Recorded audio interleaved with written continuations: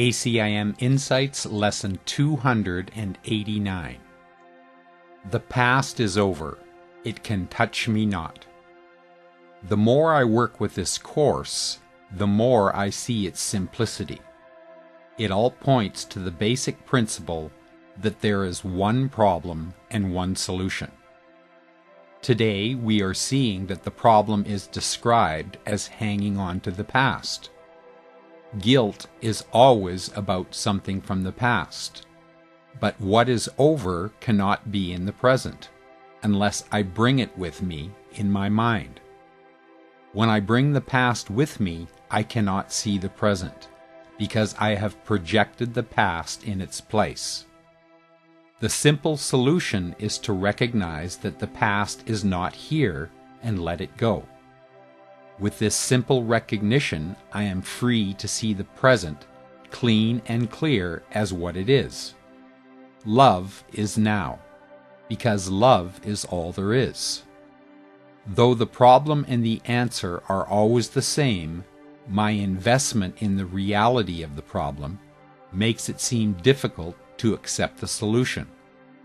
The ego has concocted countless schemes and images to make the past seem real, so that it covers the present.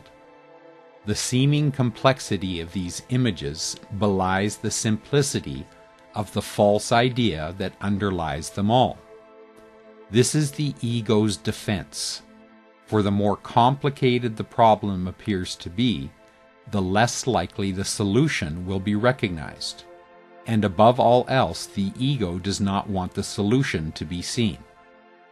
Gratefully, the Holy Spirit does not grab us by the scruff of the neck and hurl us into heaven when we would perceive it as loss and death. He is present in our mind to teach us, as we are willing, that the world is really nothing, and when we let it go, we are letting go of nothing, so that we can accept everything that is real. The past does not hold on to us, for it has no power of its own. It is we who must let go of the power we give the past in our minds.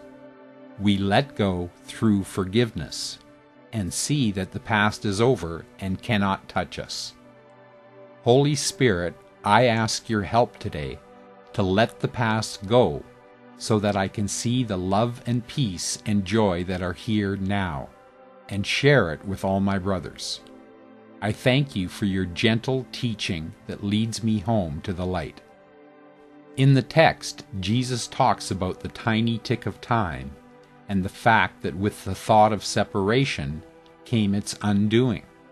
We never really could make a world of separation in reality. That thought of separation was undone in an instant so the whole dream of separation has been undone. It is over. It is a dream of time with a past and future that never happened. The whole dream in its entirety was an attempt to cover up the truth that we, as extensions of love, are still safe in the eternal mind of God. As we learn to hand over each part of the dream to the Holy Spirit to be undone, we gradually undo our belief in the dream. We gradually let go of what never was. We let go of thinking that guilt could ever be real. We let go of projecting guilt onto imaginary images of separation. We gradually recognize that the past is over.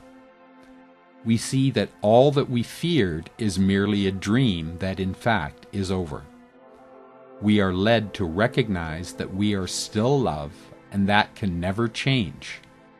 We gradually free ourselves from the chains that our belief in separation has bound us with.